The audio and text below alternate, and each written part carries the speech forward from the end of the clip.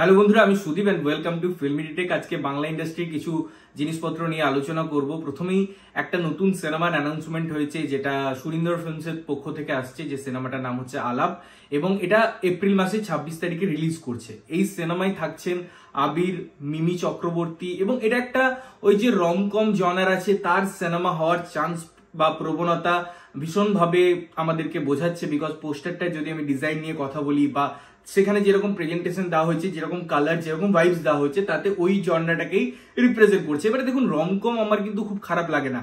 তার মধ্যে যদি ফিল থাকে, তার মধ্যে যদি গুড রাইটিং থাকে, তার মধ্যে যদি সংলাপ থাকে, তাহলে পরে সেই ফিল গুড ব্যাপারটা আমাদের কাজ করে। তো দেখা যাক এই সিনেমাটা কেমন হয়, তার ট্রেলার টিজার আসে, সেগুলো নিয়ে আমরা কথা বলব এবং আলটিমেটলি সিনেমাটা নিয়ে কথা বলব যখন দেখব তখন। বাট আমার ফার্স্ট ঝলকে বেশ ভালো লাগছে।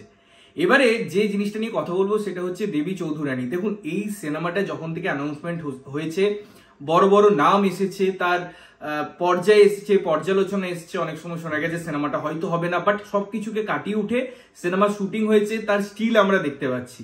সেখানে বেসিক্যালি আমি যদি শ্রাবন্তীর কথা বলি বা বোম্বাদার কথা বলি, তাদের লুক তাদের ফিল বা যেভাবে তারা অ্যাকশন ব্যাপারটাকে ইনকর্পোরেট করছে এই পার্টিকুলার সিনেমায় সেটা দুর্দান্ত।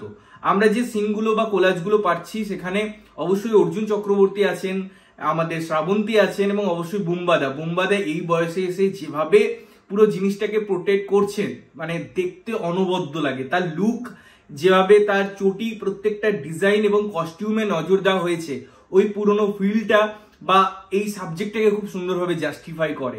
তার সাথে সাথে যেহেতু সিনেমার কালার থাকবে সেরকম বা সেই নস্টেলজিক ব্যাপারগুলো থাকবে, সেই ফ্লেভার থাকবে, সেরকম উদ্দীপনা থাকবে, তো সব কিছুকে আমার মনে হয় এই পার্টিকুলার ঝলকগুলো খুব সুন্দরভাবে ইনহ্যান্স করে এবং দেখতে ভীষণভাবে আমাদের আগ্রহী করে তোলে। আমার তো ব্যাপক লাগছে প্রত্যেকটা ক্যারেক্টার তার এক্সিকিউশন যখন ফার্স্ট লুক তাদের আনা হয়েছিল, সেখানেই ব্যাপারটা খুব সুন্দর ছিল। বাট তাদের ওই লুকটাই অ্যাকশন ফর্মেটে আমরা যখন দেখছি, হোক না সেটা স্টিল বাট স্টিল ওটা আমাদের দেখতে ভীষণভাবে ভালো লাগায়। এবং অবশ্যই আমি বারবার করে প্রসেনজিৎদার নাম এই জন্য উল্লেখ করছি বিকজ ডেডিকেশন থাকে একজনের। তার জন্যই তিনি এতদিন ধরে ইন্ডাস্ট্রিতে আছেন।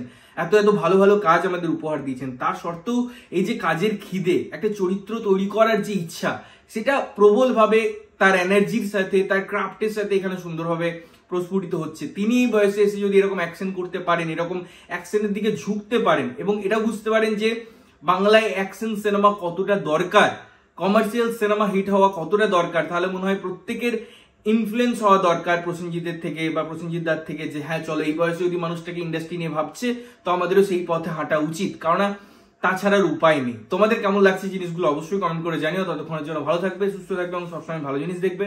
চ্যানেল যদি প্রথমবার দেখছ লাইক কমেন্ট শেয়ার করতে হবে সাবস্ক্রাইব করতে হবে, যাতে প্রত্যেক নোটিফিকেশন তোমাদের কাছে পৌঁছায়। ততক্ষণের জন্য, টাটা।